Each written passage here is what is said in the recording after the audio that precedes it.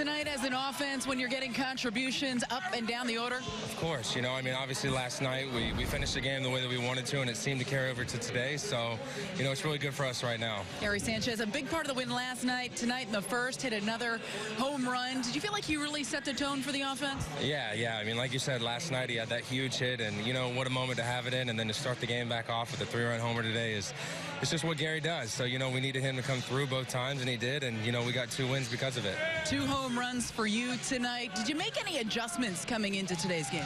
No, I mean I, have just tried to trust what I've been doing the entire time. I mean it's been it's been frustrating these last couple weeks because I haven't been able to pick it back up. So you know tonight felt good for me. How do you fight through that frustration? Just keep going back out there. You know, you just keep getting excited every time you see yourself in the lineup and, and try not to get too down because of, you know, the results. And, you know, everyone's on this field for a reason, so I got to give them credit whenever they get me out. So I'm just glad that today I got the, I got the better result. Do you feel like this can build your confidence, really give you a boost moving forward? Yeah, yeah. I mean, I haven't been swinging the bat the way that I wanted, so to have a couple good at bats tonight is it's obviously really good for me, and know, I'm going to try to look to build off it tomorrow. Clint, thanks for the time.